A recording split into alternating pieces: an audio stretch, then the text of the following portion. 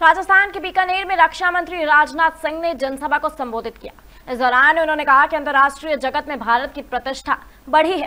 पहले मैं जब विदेशों में जाता था तो हमारी बातों को कोई संजीदगी से नहीं लेता था। लेकिन आज भारत का कद इतना बढ़ गया है कि जब भारत बोलता है तो पूरी दुनिया ध्यान से सुनती है कि भारत बोल रहा है।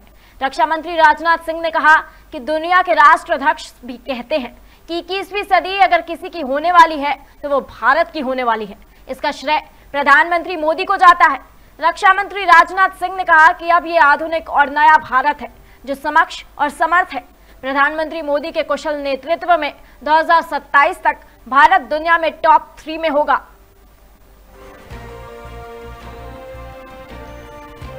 अंतरराष्ट्रीय जगत में भारत की प्रतिष्ठा बढ़ी है। बहनों, भाइयों, पहले भी मैं विदेशों में जाता था। पहले मैं विदेशों में जाता था अंतरराष्ट्रीय मंचों पर यदि हम कुछ बात बोलते थे। हमारी बातों को जिस गंभीरता पूर्वक लिया जाना चाहिए, नहीं लिया जाता लेकिन आज भारत का कद इतना बड़ा है।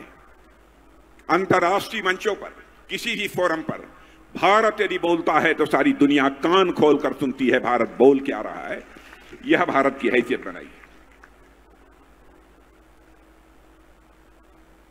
और इतना ही नहीं भारत को बड़ी आशा और विश्वास के नज़रिए से सारी दुनिया देख रही है। दुनिया के राष्ट्राध्यक्ष भी कहते हैं कि पूरे विश्व में इक्कीसवीं सदी यदि किसी की होने वाली है तो भारत की होने वाली है, बहनों भाइयों। इससे बड़े गौरव का विषय हम सबके लिए क्या हो सकता है? और इसका श्रेय यदि दिया जाना चाहिए तो हमारे देश के प्रधानमंत्री आदरणीय नरेंद्र मोदी जी को दिया जाना चाहिए। जिस तरीके से उन्होंने इस देश का नेतृत्व किया है? क्या हमारे लिए यह कम फक्र की बात है? कि हमारा प्रधानमंत्री यदि दुनिया के दूसरे देशों में जाता है तो यहाँ पर हमको हिंदू, मुस्लिम के आधार पर मुसलमान विरोधी हैं, ये हैं वह हैं, कहकर बदनाम करने की कोशिश की जाती है।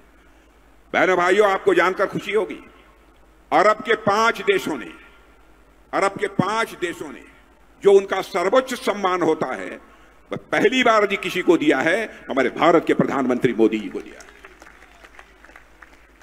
और एक छोटी सी घटना मैं बतलाऊं यहाँ सेना के लोग भी बैठे होंगे, पूर्व सैनिक बहुत सारे लोग होंगे।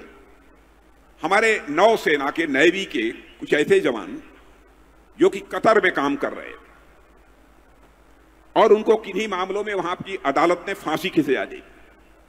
गंभीर संकट हम लोगों के सामने पैदा हो गया। मैं भी बेचैन हो उठा। हर के बावजूद हमारे पूर्व सैनिक। हम वर्तमान सेवा में तैनात सैनिकों की जितनी इज़्ज़त करते हैं, उतना ही हम अपने पूर्व सैनिकों की भी इज़्ज़त करते हैं। बहुत असमंजस की स्थिति थी। हमारे प्रधानमंत्री ने कतर के राष्ट्राध्यक्ष को टेलीफोन मिलाया।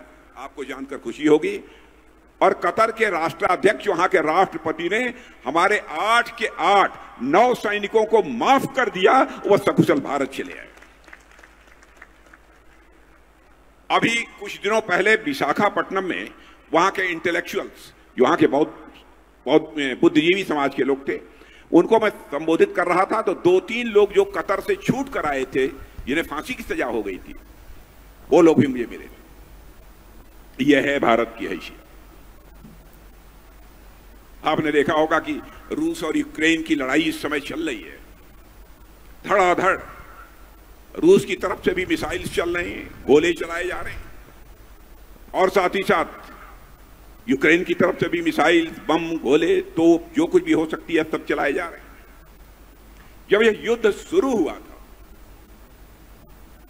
तो यहाँ पर हमारे, यहाँ भारत के रहने वाले बहुत सारे बच्चे जो यूक्रेन में पढ़ते थे उनके माता पिता ने कहना यह प्रारंभ किया कि मोदी जी, चाहे जैसे भी हो, हमारे बच्चों को यूक्रेन से निकालकर आप भारत ले आइए। संकट की स्थिति थी। चुनौतीपूर्ण स्थिति थी। बहन भाइयों, हमारे प्रधानमंत्री ने क्षण भर की देर नहीं लगाई। उन्होंने रूस के राष्ट्रपति मिस्टर पुतिन को टेलीफोन मिलाया। यूक्रेन के राष्ट्रपति मिस्टर जेलेंस्की को टेलीफोन मिलाया। और साथ ही अमेरिका के राष्ट्रपति मिस्टर बाइडेन को टेलीफोन मिलाया और आपको जानकर खुशी होगी, साढ़े चार घंटे के लिए युद्ध रुक गया और साढ़े बाईस हज़ार हमारे जवान भारत आ गए। यह है भारत की है हमारे सेना के जवान भी अपनी शहादत देते हैं, अपना सब कुछ न्यौछावर करते हैं। इसीलिए न कि भारत माता का मस्तक सारी दुनिया में ऊँचा और किस लिए करते हैं? भारत माता की आन बान शान पर कभी आँच नहीं आनी चाहिए। दुनिया के पाँच देशों की कतार में आकर। और आज मैं कहकर जा रहा हूँ, अब मैं ही नहीं कह रहा हूँ, दुनिया की फाइनेंशियल फर्म जो कि आर्थिक मामलों की समय समय पर समीक्षा करती रहती हैं रिपोर्ट देती रहती हैं, उन फाइनेंशियल फर्म ने कहा है, अब वह दिन दूर नहीं है कि 2027 प्रारंभ होते होते ही भारत दुनिया की टॉप थ्री कंट्रीज़ में आकर खड़ा हो जाएगा मेरे बेटे।